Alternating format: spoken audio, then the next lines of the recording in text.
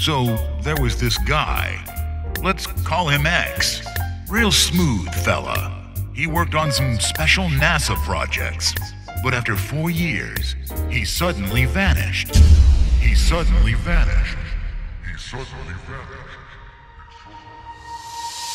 Rumors say he started working on his own space program. His mission was said to evacuate strange, mysterious purple creatures. So they built several heavily guarded space observatories to operate from. After a few months, they discovered a small planet orbiting a star not far from Earth. From there on, things went fast.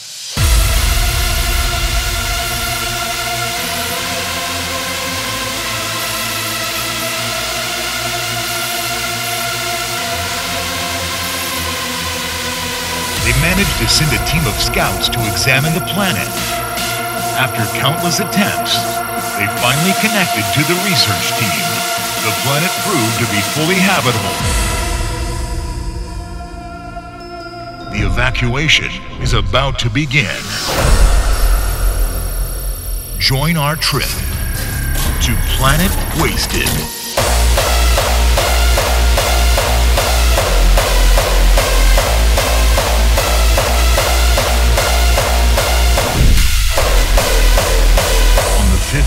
And 16th of May, 2015, we're going on a trip to Planet Wasted, Wasted Festival.